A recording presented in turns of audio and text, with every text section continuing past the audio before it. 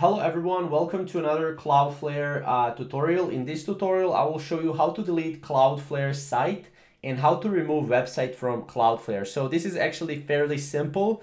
Um, now, since I don't have any domains on Cloudflare currently, I will show you uh, from their support website. So you will just need to log in into your Cloudflare dashboard and select your account and domain. So for example, you can go here to the domain registration, manage domains, here you will see all your domains, right? You need to click on the domain.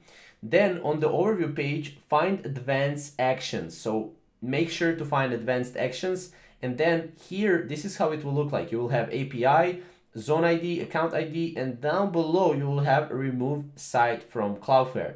So click on it and select confirm. And what this will do is this will delete your Cloudflare site from your Cloudflare account, right?